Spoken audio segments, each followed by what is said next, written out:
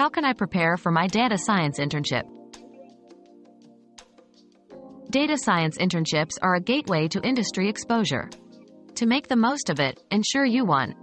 Brush up on core topics like statistics, machine learning, and programming. 2. Familiarize yourself with tools such as Python, R, and SQL. 3. Engage in hands-on projects to showcase your problem-solving skills.